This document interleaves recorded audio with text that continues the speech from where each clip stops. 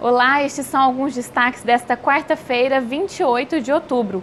Dando sequência à série Voto e Cidadania, a Tribuna e a rádio CBN Juiz de Fora entrevistaram um candidato à Prefeitura de Juiz de Fora pela Democracia Cristã, Eduardo Lucas.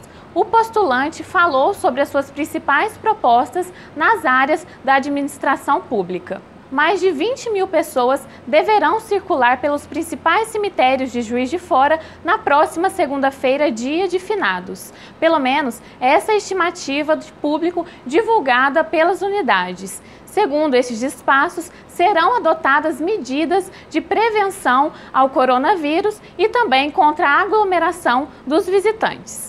Às vésperas da eleição norte-americana, continuação do filme Borá é lançada diretamente em plataforma streaming e expõe os Estados Unidos da era Trump. Esses destaques e outras notícias você lê no site da Tribuna e também na edição impressa desta quinta-feira.